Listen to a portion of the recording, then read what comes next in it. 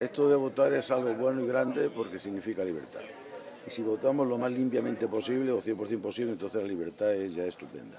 Así que hoy estamos haciendo un ejercicio de democracia, estamos votando. Eh, yo he estado esta mañana, pues vengo de, saludar a mucha gente en los varios colegios electorales.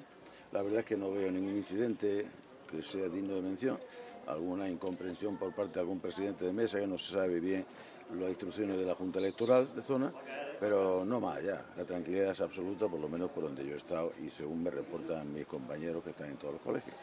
Así que bueno, esperemos que el día siga así, que la gente pueda votar en libertad y que voten. Yo aquí el llamamiento que hago es que vayan a votar. Vamos a aprovechar esto, ¿no? Porque es que, es que la palabra del ciudadano la tiene cada cuatro años. que la expresen que la expresen porque si no luego ya no va Hay que ejercer, hay que hacer un ejercicio de democracia, un pequeño esfuerzo al colegio y, votar.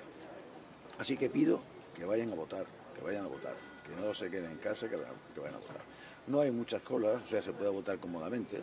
Entonces, bueno, pues eh, cuanto más votos haya en la urna, más ejercicio democrático, más verdad habrá en esa urna.